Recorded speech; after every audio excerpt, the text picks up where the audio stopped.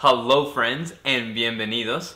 This is going to be a way for me to document my journals in video. Why would I do that? Well, I'm a type 4 ENFP and I'm a compulsive oversharer and I'm extremely extroverted and COVID-19 has made it so that I cannot see as many people as I need to see so this is going to be my new outlet and I apologize that I have to do this. I have resisted the urge for a while, but here I am. Welcome to Café con Leche with the Poet Preacher. So I got a lawnmower a couple of weeks ago, and the reason for that is because, let me just take you back to the beginning. In the beginning, Janice wanted a house. Bryant did not want a house. But Bryant wanted a third dog, a Saluki to be exact, and uh, Saluki is a hound, and it's the kind of hound that needs a lot of activity. So I would take her to the dog parks, it'd be no problem for me, and then I would also do some walks in the in the weekend. However, our other two dogs don't play well with other dogs, and the problem with the dog park is that you need to manage your own dogs and the behaviors of other dogs and the behaviors of other dog owners because something happens when people go to the dog parks, I don't know, everyone becomes an idiot. Sorry, maybe you go to the dog park and check out. The point is, if you go to the dog park, you need to maintain your dog's behaviors, but it doesn't happen. Was I was mostly able to manage it. However, my wife was going crazy. So she said we needed a fenced yard. So we were looking for a house. We got a house, we got a yard. Happy wife, happy life. However, the yard we got is very rocky and on a slope, and honestly, it's just kind of dreadful. So what happened is that I contracted someone to do the yard work for me, to do the mowing of the lawn. And I understand that this is technically not a good usage of money, but my family worked very hard for me to be able to come to a place where I can hire other people to do that. Sorry, that sounds kind of elitist. Probably because I. I'm doing this AeroPress thing. Where was I? Yeah, so, uh, we got we got someone to do the yard work, and they were doing it for a bit, but it was kind of inconsistent. And I think my first mistake was to not get a contract. I'd have to re reach out to him and would then come and do it. After about a year or so of this kind of relationship, he just stopped coming, and I was kind of concerned. So I reached out one more time, and, he, and his guys came out one last time, and after that time, he called me, like literally like 20 minutes after his guys finished, and he broke up with me.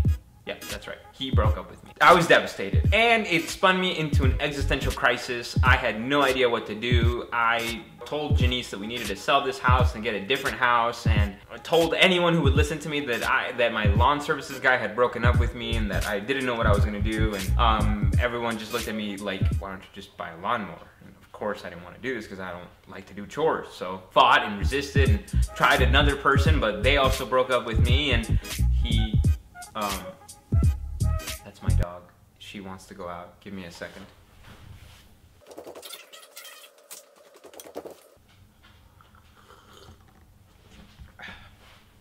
All right, now that she's happily outside.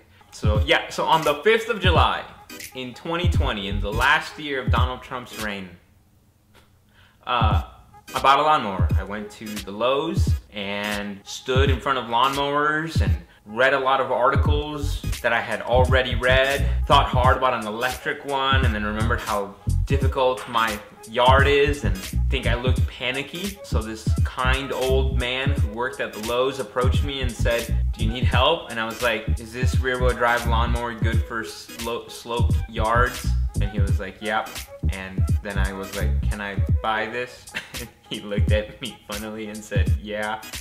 So I bought it, came home, read the manual, figured out how to unlatch it because it folded and it was kind of concerning how I couldn't figure out how to for a little while. But then I figured it out and I could begin to mow. Part of the reason that it took me so long to buy a lawnmower, besides the fact that I hate chores, is that for the first year and a half that I owned this house, I was traveling all the time. I love to travel, and I love to moonlight as another kind of person in another world, like maybe a slightly racist Bostonian, or uh, a person from Denver that doesn't see color, or, you know, someone in California who's vain and just trying to make it. Obviously, these are negative stereotypes, but you know what I mean. I like to go other places and pretend and imagine myself what it what it would be like to live there. I don't want to live in Ottawa. I don't want to live in Tennessee. I've never I never have, and I don't think I will. Like it's a fine place for people who want to settle, for people who want to raise families, for people who are okay with only two and a half good restaurants. Um, and Chattanooga is a, is a cute town, but it doesn't really have a culture of any kind. I've been dissatisfied with where I've lived for the last couple years. And the way that I've coped with it is by traveling as much as I can. And there was a good time there where like I was traveling about two and a half times a month and it was amazing. Traveling on the company dollar is a vibe. I highly recommend it. But COVID-19 made it so that a lot of us had to be home a lot more. And as we did that, it kind of exposed us to have to take responsibility of our life in a way that maybe we hadn't before. Now, there's a lot of things that I had kind of been waiting because I'm like, oh, I'll just do that post COVID. I'll do that post COVID. Or, oh, this is just temporary. But it's September now.